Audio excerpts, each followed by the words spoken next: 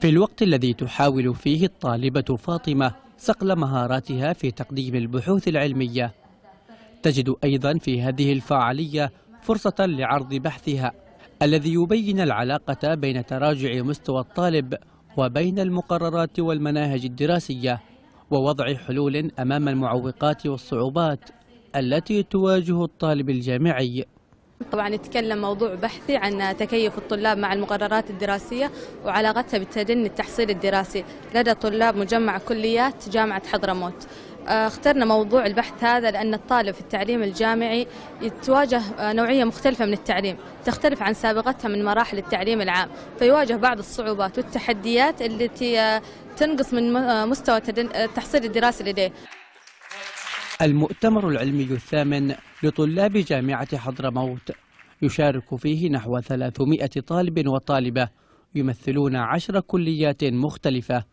فكل طالب يعرض بحثه العلمي أمام لجنة التحكيم حيث شملت محاور رئيسية في مجال العلوم الطبيعية والتطبيقية والعلوم الإنسانية والاجتماعية. في كثير طالبات من كلية الآداب في كثير طالبات من كلية البنات. كانت أبحاثهم جد طيبة وممكن أن نحن كذلك نستفيد منها في التنمية المجتمعية. وإن شاء الله تلاقي صوت من خلالنا بأنه نحن نتلقف أبحاث الطالبات بحيث تبقى جزء لا يتجزأ في تنمية وخدمة المجتمع. على مدى أربعة أيام استمر المؤتمر العلمي الذي عقد تحت شعار طلاب الجامعة في خدمة التنمية.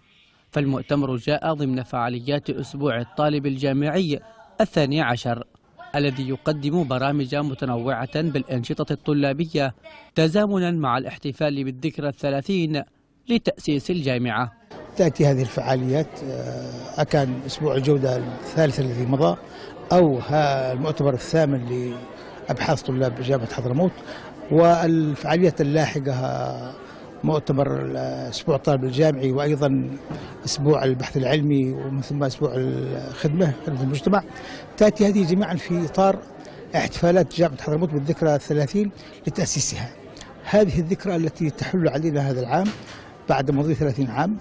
تهدف هذه الأنشطة إلى إكساب الطلاب المعارف والمهارات في القاعات الدراسية وخلق الشخصية المتكاملة للخريجين فجامعة حضرموت تحرص على رفع جودة التعليم على مستوى الجامعات اليمنية.